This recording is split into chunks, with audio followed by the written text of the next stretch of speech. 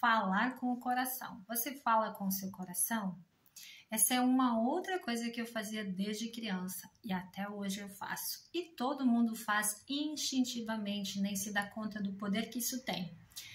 Quando você quiser falar com você, com os seus sentimentos, com algo que está mexendo com as suas emoções e relações, geralmente a gente põe a mão aqui no nosso coração, como uma forma de conectar com o sentimento, de limpar a dor daquele sentimento ou trazer um sentimento melhor. Então é falar com o coração. As nossas mãos, elas têm muita vibração, energia e quando tocamos, ela quer falar e fala com o nosso corpo, com o nosso coração.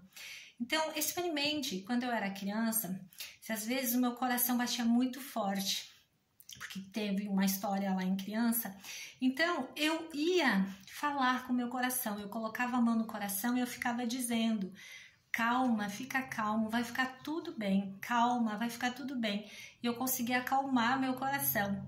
E hoje é normal e natural, como eu disse, colocar a mão no coração e dizer bons sentimentos, você é alegre, você é feliz, eu amo você, eu estou aqui com você.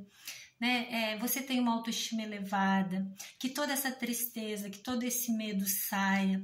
Não precisa ficar sentindo tudo isso. Vamos liberar, soltar. Se vai acariciando e falando com seu coração você vai expressando os seus sentimentos, o ruim para que ele não fique preso e o bom para que você se preencha dele.